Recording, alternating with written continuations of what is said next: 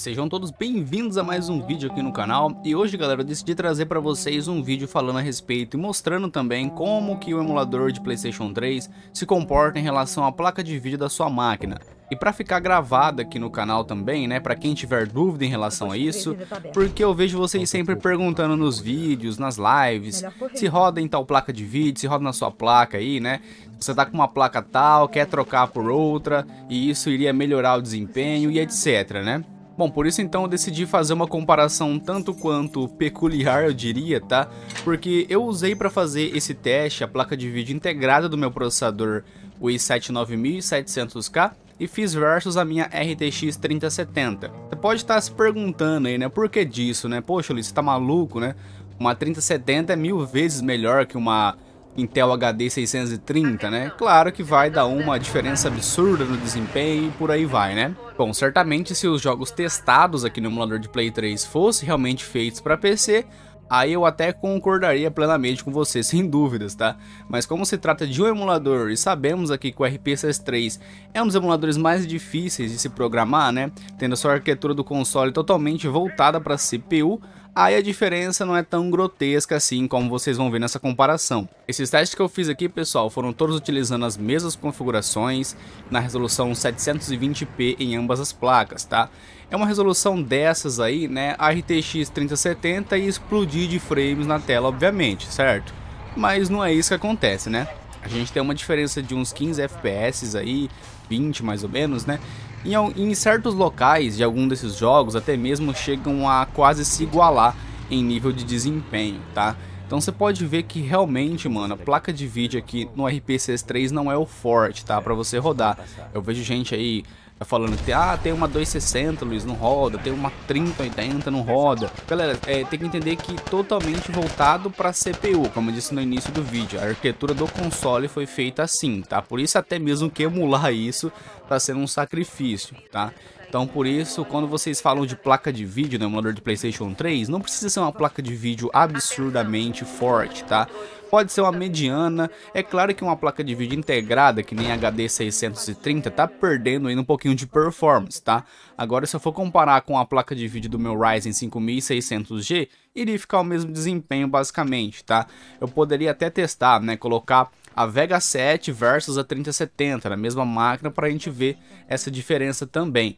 Mas o que eu queria passar para vocês aqui é o seguinte, você tá vendo que a HD 630, né, a diferença da 3070 em alguns casos é 10, 15, varia bastante, tá? Mas fica nessa faixa, não fica um desempenho tão absurdo, né? A nossa 3070 era para dar 100 FPS aqui, você tá entendendo? Num The Last of Us, num God of War da vida, vamos dizer assim, né? Enquanto elas estão parelhas aí basicamente no desempenho. Então, basicamente não vai influenciar tanto assim a placa de vídeo aqui no RPSS3. Para quem tinha essa dúvida, para quem perguntava, né? Eu acho bem importante já deixar esses vídeos aqui no canal, porque aí caso vocês perguntem, vocês podem estar tá mandando o vídeo para essa pessoa, ou até mesmo coloco o link para a pessoa ver e etc, né? Então acho bem mais necessário, vamos dizer assim, né? Então esse vídeo aqui eu queria mostrar para vocês mais como é que se comporta aqui no, no RPCs 3, lembrando que as builds utilizadas é a build mais atual do emulador, né, a build Master, e realmente vocês podem ver aí que a diferença não é tão gigantesca assim. Claramente uma placa integrada pode ter algum bug gráfico, né, algum glitch, etc, né, comparado a uma placa dedicada, né. Então sempre recomendo aí pelo menos uma plaquinha mais simples possível, uma mediana.